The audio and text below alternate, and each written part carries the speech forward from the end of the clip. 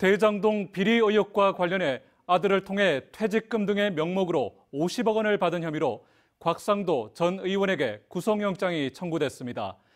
의원직 사퇴를 한 곽 전 의원의 지역구인 대구 중남구는 내년 대통령 선거일인 3월 9일 국회의원 보궐선거도 함께 실시되는데요. 곽 전 의원을 낙하산 공천한 국민의힘에 대한 비판이 나올 수밖에 없는데 지역은 안중에도 없는 이런 공천 관행 이제 사라져야겠습니다. 김철우 기자입니다.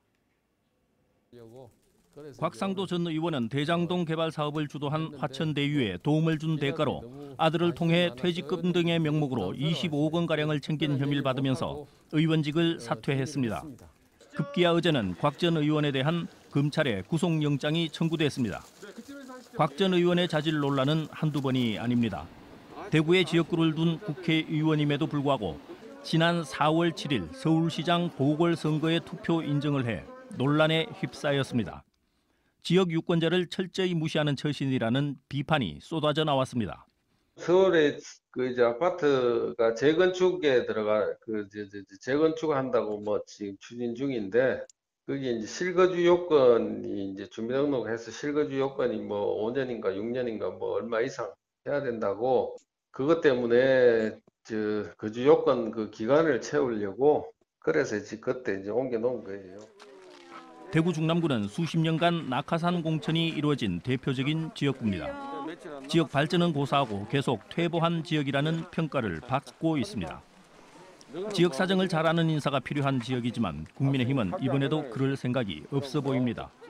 강석호 거래했다가 3년 전에 4개 중에 2개를 날려버렸잖아요. 무소속이 돼버렸잖아요. 누가 이제 가느냐, 중남부로 갈 가능성이 또 그런 말이 벌써 나오네요. 여섯 번. 그래 24년이에요. 그런데 또 요번에도 낙하산 주는 가능성이 있다고 봅니다. 내가 안 돼도 좋으니까 집안 있다고 시원 좀 하지 말자고. 대구 사회에 기여한 바도 없이 공천을 받으려고 중앙 정치권을 기웃거리던 사람들이 국회의원 자리를 꿰차온 악습을 근절시킬 때가 됐다는 목소리가 나오고 있습니다.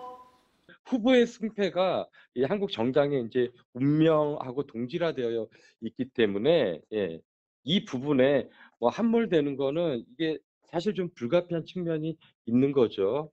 어, 하지만 이제 그 앞으로의 미래 정치를 봤을 때는 이게 지역과 중앙이 예, 일사불란하고 유기적으로 돌아가는 이 한국의 정치 문화를 예, 새롭게 만들 필요가 있다.